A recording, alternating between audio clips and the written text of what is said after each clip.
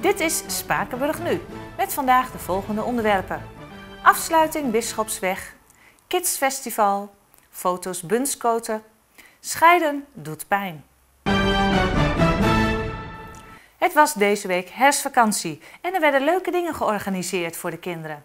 Bijvoorbeeld in Museum Spakenburg en de bibliotheek, waar Emmy sprak met Adriaantje de Jong. Adriaantje de Jong, Kids Festival. Ik zie overal kinderen. Wat is er precies aan de hand? We hebben vandaag een cultureel kidsfestival in het museum. Voor de tweede keer. Vorig jaar hebben we het voor het eerst gedaan. En uh, ja, we willen natuurlijk ook de jonge generatie bij het museum en de cultuur van Spakenburg betrekken. Dus daarom hebben we deze activiteit voor in de herfstvakantie uh, georganiseerd. En wat houdt het precies in? We hebben dit jaar als thema van zout naar zoet. Dus we focussen op uh, het visserijverleden van Bunschoten Spakenburg. En ze gaan niet alleen dingen bekijken, maar vooral heel veel dingen doen. Dus kinderen gaan verkleden in Spakenburgse klededracht. Ze gaan een sleutelhanger hanger, uh, knopen met uh, vissersknopen. Dat doet de watersportvereniging, die werkt daaraan mee. Ze gaan naar de bibliotheek voor uh, Maritiem Minecraft. Dus een computerspelletje, wat kinderen natuurlijk ook heel leuk vinden. Om het heel Hollands te zeggen, hè? Precies. En ze hebben een uh, speurtocht door het museum. En dan kijken ze naar de collectie en alles wat daarmee uh, ja, met visserij te maken heeft. Dus eigenlijk spelende wijs krijgen ze er zin in? Spelende wijs krijgen ze er zin in. En we hopen dat ze een hele positieve museumervaring ook opdoen. En zeggen van nou, we willen nog wel eens een keer naar dat museum. Hebben jullie al reacties gehoord van de kinderen? Ja, de kinderen zijn heel enthousiast. Sterren, wat ben je aan het doen? Minecraften. Ja, en, leg ze uit, want ik snap er helemaal niks van. Je hebt, uh, je hebt dan uh, een wereld en dan ga je allemaal dingen inbouwen. En dan moeten wij nu iets voor onszelf maken. En ik ga een uh, kasteel bouwen samen met haar. En dan, moet, en dan gaan we net doen of ik een koningin ben en zij een prinses. En dan, ja, en dan uh, ga ik, uh, nu ga ik het kasteel verder bouwen. Maar we doen ook met een uh, rode loper dus. En dan heb je allemaal verschillende blokken. Zoals hier lampjes.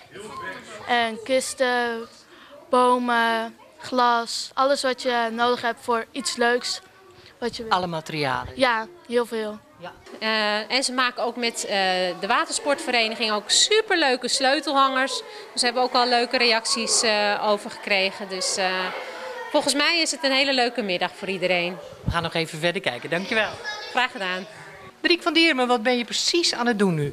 Nou, het is nu zo'n een speurtochtje met de kinderen. En dat in de, tijdens de herfstvakantie. Ik moet zeggen, ik heb ze zo'n als oud visser, zoon van de visserman, iets mogen vertellen over de visserij. En ze hebben een speurtochtje op hun vraag. En ik moet zeggen, ze zijn een stuk wijzer geworden over de visserij. Nou, wat hebben jullie geleerd? Vertel eens. Niet heel veel. Nee? Want je wist al veel zeker, hè? Ja.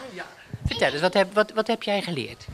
Uh, ben ik even vergeten. Dat ben je vergeten. Nou, wie heeft er iets geleerd wat hij mij wil vertellen? Ja, ik, ik weet het ook niet meer zo goed, maar ik heb wel wat geleerd. Van zout naar zoet. Over de visjes ging het. De visserij. Ik weet dat um, ze vroeger heel, dat ze dan uh, het meeste een hoed op hadden. Ja, als ze aan het vissen waren op die botter, hè? Ik, uh, ik heb dat ook gedaan met Spakenburgse dag.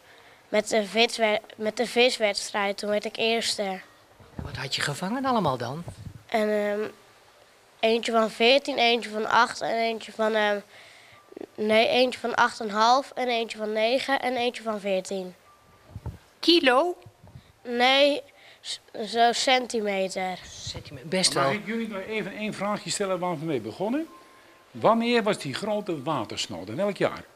1966. En wanneer is die afsluitdijk gekomen? 1922. Oh, wat mooi. En hoe heet het? Tot 1932. Toen was het Zuiderzee. En daarna Markenmeer en IJsselmeer. Ik vind dat jullie het nou perfect gedaan hebben. Ja, en toen werd het zoetwater, hè? Ik heb ook geleerd uh, om Minecraft te spelen in de bibliotheek. Dat heb ik ook nog geleerd. En dat was ook leuk, hè? Ja, dat is ook heel leuk, heel leuk. Ik, ik wist niet dat um, ze vroeger heel veel haring hebben gevangen. Dat wist ik. Dat heb je vandaag geleerd. Ja, dat heb ik vandaag geleerd. Goed onthouden, hè? Stijn Lauwe, de bibliotheek, doet ook mee aan het Kids Festival. Wat is hier precies aan de hand? Uh, hier doen we ma ja, maritiem Minecraft zou je het kunnen noemen. Dus uh, normaal gesproken doen we Minecraft uh, workshops waarin mensen met kinderen met blokjes kunnen bouwen. En in dit geval hebben ze speciaal een blok water en een blok zand gegeven, zodat ze zelf hun eigen haven kunnen bouwen. En op die manier proberen we aan te sluiten bij het evenement van vandaag. Wat, wat moeten ze daarvan leren? Uh, nou, ten eerste is het heel veel samenwerken, want ze krijgen samen krijgen een haven. Ze moeten ook samen die blokjes bouwen. En uh, wij doen het ook in het mom van 21st Century Skills. En dit is ja, voornamelijk van hoe ga ik nou met uh, interfaces om? Um, hoe beweeg ik me in een virtuele wereld? Want voor heel veel kinderen die zijn wel gewend om met de tablet te spelen, maar dan weer niet met een computer. En dat blijkt dan net weer iets anders te zijn. En hoe zijn de reacties van de kinderen? Ja, ze zijn altijd enthousiast. Als ze Minecraft gaan doen, ze komen binnen. Oh, dan ja, beginnen ze in feite al, uh, willen ze al beginnen daarmee. Dus over het algemeen heel erg positief. En sommigen zijn heel serieus en die gaan echt bouwen. En anderen die vinden het gewoon leuk om uh, ja, te ravotten, zou je het kunnen zeggen. Ja, en, en, toch moeten ze als groep functioneren? Toch moeten ze als groep functioneren. Dus dat betekent dat er soms even gestuurd moet worden, ja. En dat doe jij? Ja, dat doe onder andere ik, ja. Leuk, succes. Oké, okay, dank u wel. Vanaf maandagochtend 29 oktober tot en met woensdagavond 31 oktober wordt groot asfaltonderhoud uitgevoerd op de Bisschopsweg in Bunschoten. Om de werkzaamheden te kunnen uitvoeren moet de weg in beide richtingen worden afgesloten. Het fietspad naast de weg blijft open. Het oude asfalt wordt verwijderd en er wordt nieuw asfalt aangebracht op het gedeelte vanaf de kruising met de Amersfoortse weg tot aan de brug over de Eem. Het verkeer wordt omgeleid via de A1. De parallelweg van de Bisschopsweg is bereikbaar vanaf de Kronkels. Bij alle wegwerkzaamheden kunnen onvoorziene omstandigheden roet in het eten gooien, waardoor het werk moet worden uitgesteld naar een later moment. Bijvoorbeeld als het een lange tijd achter elkaar hard regent. Asfalteren is dan niet verstandig, omdat de kwaliteit van het resultaat dan onvoldoende is. Scheiden doet pijn. Helaas horen we steeds vaker van scheidingen en de problemen die daarmee gepaard gaan. Miranda sprak erover met mediator Frans Antonis van Mironi Mediation en Coaching. Goedemiddag. Ik uh, uh, ben heel benieuwd, uh, ja, wat, wat doet een mediator? Een mediator begeleidt mensen in een conflict situatie. Dat kan ieder soort conflict zijn, een echtscheiding, arbeidsconflict. Om mensen met elkaar in gesprek te krijgen en uh, alles op tafel te kunnen krijgen om het probleem op te kunnen lossen en te zorgen dat er een aanvaardbare situatie ontstaat voor beide partijen. En uh, aanvaardbare situatie voor beide, waar kijk je dan naar? Uh, ik kijk naar de balans in de gesprekken. En met name of partijen zich goed voelen bij het compromis wat ze sluiten. Dus dat ze niet onder druk staan, maar echt keuzes maken waar ze zelf achter staan. Juist, uh, dus als iemand uh, wil scheiden, dan kan je naar een rechtbank gaan, maar je kan ook naar een mediator gaan. Wanneer kies je voor het een en wanneer kies je voor het ander? Uh, naar een rechtbank gaan moet je via een advocaat. En dat doe je eigenlijk alleen maar als je niet meer met elkaar in gesprek bent of wilt. Mm -hmm. In alle andere situaties is mediation de beste vorm, omdat je dan met elkaar in gesprek bent. En uh, ook uh, zeg maar keuzes kunt maken uh, zonder dat die opgelegd worden door een rechter. Ja, dus je maakt zelf de afspraken en bij een rechtbank bepaalt de rechter, als die uitspraak doet, welke afspraak jij je aan moet gaan houden. Juist, dus dat is eigenlijk het verschil. ja, ja, in dat opzicht wel. Daarnaast is het emotioneel minder zwaar omdat het conflict meestal opgelost wordt, waardoor je makkelijker en beter verder kunt. En zeker als er kinderen zijn, ook kunt samen blijven werken naar de toekomst toe. En ook qua kost is het een stuk goedkoper. Oké, okay, als we nu kijken naar uh, uh, wat is het punt van, oké, okay, de een wil scheiden en de ander wil niet scheiden. Wat kan je dan uh, doen in dat geval? dan zul je in ieder geval in gesprek moeten met elkaar. En um, waar we dan met name het accent op leggen in eerste instantie is de scheidingsmelding dat degene die de keuze heeft gemaakt om te willen scheiden het heel goed uitlegt uh, aan de partner uh, wat de reden is uh, dat hij of zij wil gaan scheiden. soms wordt die boodschap wel gegeven, maar als mensen emotioneel zijn, dan komt vaak de informatie niet goed binnen. En dat doen we in alle rust in mijn spreekkamer opnieuw. En wat, wat houdt het in als je een, een, een gesprek wil bij een mediator? Hoe maak je die keuze? Uh, dat is in principe vrij simpel. Dat is een kwestie van uh, met elkaar in gesprek willen en dan een mediator bellen om in eerste instantie vrijblijvend een kennismakingsgesprek te hebben. Om te kijken of inderdaad de werkwijze van de mediator je aanstaat en of je je vertrouwd voelt bij de mediator die je gaat begeleiden. Wat doe je in dat geval als er kinderen in spel zijn? Ehm, nou, dan kun je of beslissen om in eerste instantie relatietherapie te gaan doen, hè, of een andere vorm van begeleiding om te kijken of de relatie uh, verbeterd kan worden. Uh, als daar twijfel over is of daar überhaupt een basis voor is, dan is mediation ook geschikt omdat uh, in de scheidingsmelding gekeken wordt van jongens, zijn er echt geen andere mogelijkheden dan scheiden. Want scheiden kan altijd nog. En als er een basis is om toch door te gaan, eh, dan kunnen partijen in eerste instantie proberen om te kijken of ze toch de relatie weer vlot kunnen trekken en samen door kunnen gaan. Dus eigenlijk is jouw opzet altijd om het huwelijk te redden? Uh, nee, mijn opzet is om te toetsen of het huwelijk te redden is. En als dat niet het geval is, om dan de scheiding in zo goed mogelijk uh, vorm te begeleiden en te zorgen dat er uh, ja, goede afspraken gemaakt worden en dat mensen het verleden kunnen afsluiten op een zo goed mogelijke manier en samen door kunnen eh, als ex-partners en vaak ook als ouders. Binnenkort zullen we uitgebreid op dit onderwerp ingaan.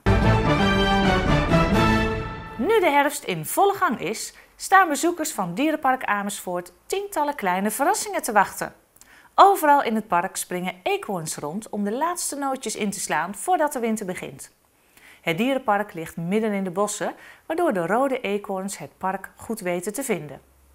Dagelijks worden wij verblijd met de komst van deze kleine dieren met hun rood-bruine pluimstaart, vertelt dierenverzorger Bas Aalders. Ik zie de eekhoorntjes elke dag, maar het verveelt nooit.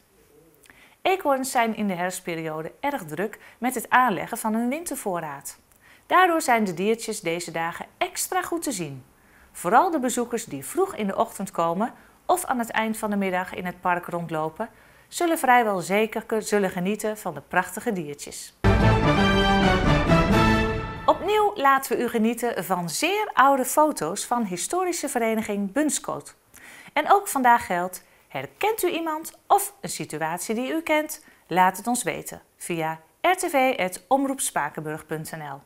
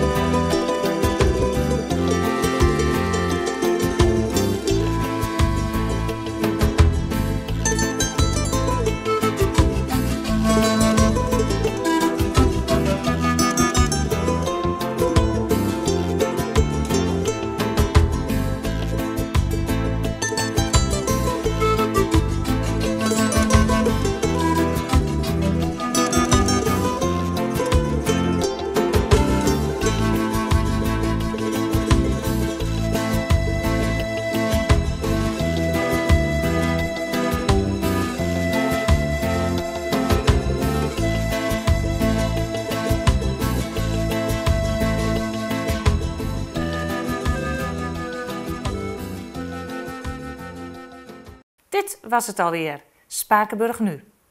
Elk uur kunt u nog kijken tot vanavond 11 uur. Om middernacht meteen de eerste keer los op zondag. Dat op zondag nog vijf keer te zien is. Maandag weer een nieuwe aflevering van Uit de Oude Doos. En dinsdag het vrije item met Tijmen. Die sprak met mensen van Hosanna over de bijzondere uitvoering die in de Sint-Joriskerk gegeven wordt. In een interview wordt gesproken over de AIDA-trompetten, die ook in het requiem van Verdi gebruikt worden. Om die trompetten goed te kunnen zien en horen, wordt aan het einde van het item een stukje uit AIDA gespeeld. Woensdag is er alweer een nieuwe aflevering van Spakenburg Nu. Nog een heel fijn weekend.